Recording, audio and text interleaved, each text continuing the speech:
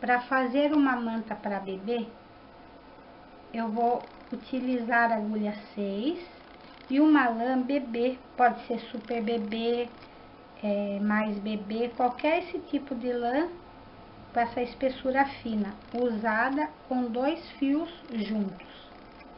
Aí eu vou colocar 100 pontos na agulha.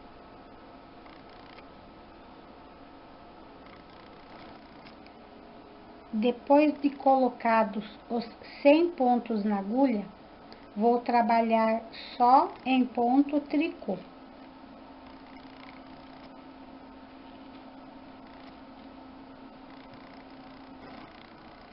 Voltando à segunda carreira também só em tricô. E vou trabalhar assim 200 carreiras que formarão 100 cordõezinhos em tricô. Esta parte da manta, então, fica assim. Coloquei 100 pontos, trabalhei 200 carreiras que formaram 100 cordões em tricô. Aí já estou terminando de arrematar todos os pontos pegando dois juntos.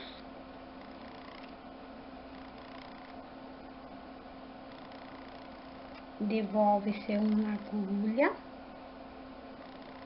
Pega dois juntos.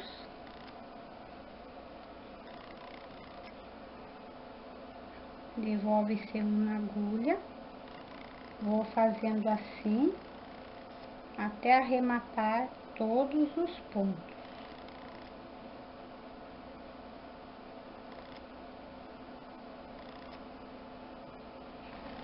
Terminando de arrematar, corto o fio, passo aqui por dentro.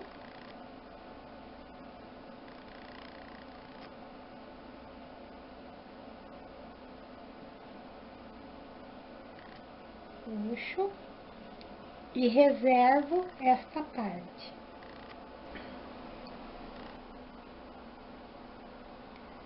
Para fazer o bico da manta, eu vou colocar nove pontos na agulha. Três, quatro, cinco,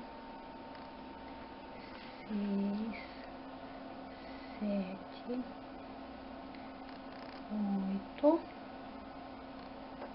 nove coloquei nove pontos na agulha. Depois que eu coloquei os nove pontos na agulha, eu vou trabalhar assim a primeira carreira. Dois tricô. Uma laçada. Pego dois pontos juntos em tricô. Aí faço outra laçada. Pego novamente dois pontos juntos em tricô. Outra laçada. Dois pontos juntos em tricô. A primeira carreira sempre assim meio difícil. Uma laçada, terminando com um tricô.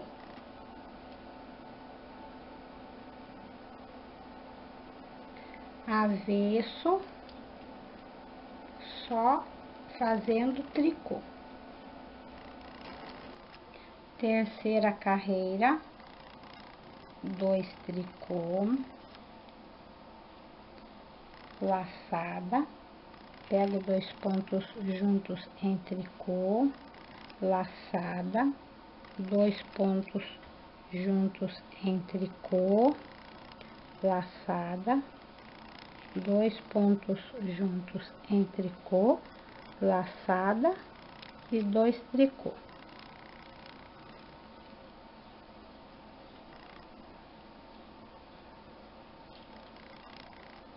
Avesso, só em tricô. Quinta carreira, dois tricô, laçada, dois pontos juntos em tricô, laçada, dois pontos juntos em tricô, laçada, dois pontos juntos em tricô, laçada e três tricô. Um, dois, três. Avesso, só em tricô. Sétima carreira, dois tricô,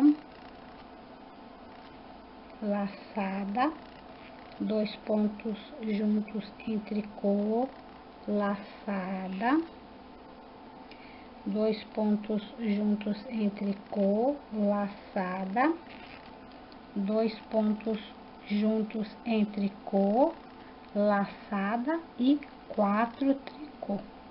Um, dois, três, quatro.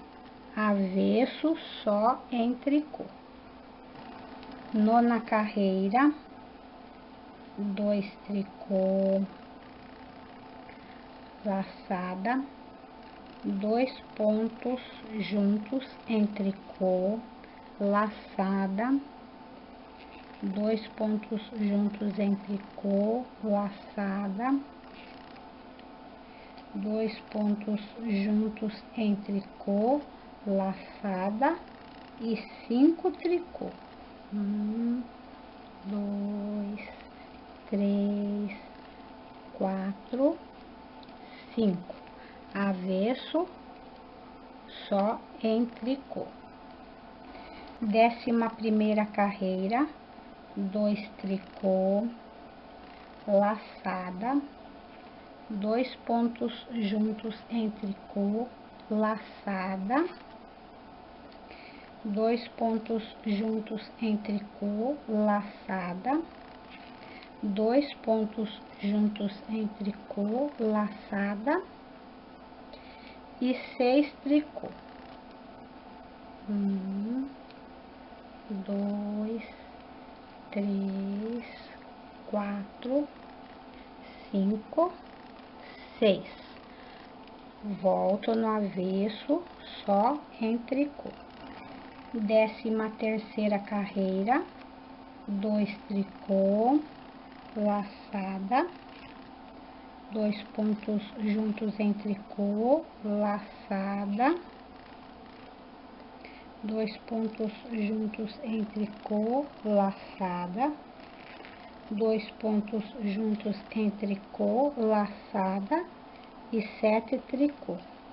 Um, dois, três, quatro, cinco, seis, sete. Avesso, só em tricô. Quando chegar na décima quinta carreira, eu arremato sete pontos, pegando dois juntos, devolvendo um na agulha, novamente dois juntos, devolvo na agulha, dois, três, quatro,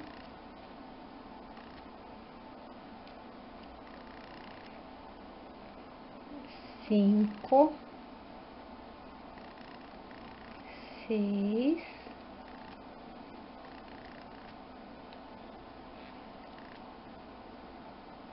sete pontos que eu arremato, sem puxar muito, bem natural assim. Aí, restaram dois, quatro, seis, oito, nove pontos na agulha novamente. Então, eu volto na primeira carreira. Esse aqui já foi feito, né? O nono pontinho. Então, eu faço mais um ponto completando dois, começo de novo. Dois tricô, laçada, dois juntos em tricô, laçada, dois juntos em tricô, laçada, dois juntos em tricô, laçada, um tricô. E comecei novamente e vou fazendo assim, voltando no avesso só em tricô, que são as carreiras pares do começo ao fim, só fazendo as alterações de ponto do lado direito do trabalho, como eu expliquei para vocês. Não se assustem que esse, esse bico parece difícil, mas é super simples. Qualquer iniciante no tricô consegue fazer, basta seguir aqui o passo a passo, porque vale a pena, porque ele fica muito bonito. Então, esse bico fica assim. Ele começa, né, nos nove pontos, vai caminhando até chegar na décima quinta carreira, eu remato, reduzo, cai para nove pontos novamente, e assim vai até, no meu, eu com, completei 48 bicos, que deu a volta na manta. Agora, eu vou costurar esse bico, contornando o quadrado da manta. A costura não tem muito segredo. A gente é, deixa bem certinho os quatro cantos, né? E, e vai costurando no, no lado direito do trabalho, prestando atenção para os bicos estar bem assim do lado direito junto. A manta não tem direito e avesso, ela é uma coisa só dos dois lados, né? E aí a gente vai costurando pegando uma alcinha de um lado, uma alcinha do outro, mais pertinho possível, para ficar uma costura bem feita. Não tem muita regra para essa parte, simplesmente uma costura emendando o bico a manta. Ele vai sumindo a costura assim, vai ficando os pontos bem homogêneos. Então, tá aqui a manta com o bico costurado. E ela fica uma manta, além de bonita, ela fica muito útil, porque ela é um agasalho, pela textura dela assim ela, ela aquece bem o nenê. E se for para lugares mais verão, pode ser feito em linha também. Basta usar dois fios dessas linhas com a mesma espessura da lã, tipo a Anne ou a Camila Fashion, ou qualquer outro tipo de fio que tenha essa espessura. Aí, esse passa-fita eu fiz aproveitando esses furos que o barrado faz. Só que eu achei que estava muito espaçado, embora pode ser feito também assim, de furo a furo, que fica bonito. Mas eu construí aqui um, um, um passa-fita aqui no meio também. Eu coloco aqui a fita, né? E, e aproveito o fio. E esse que eu construí também pode, ó. Fica mais pertinho o passa-fita.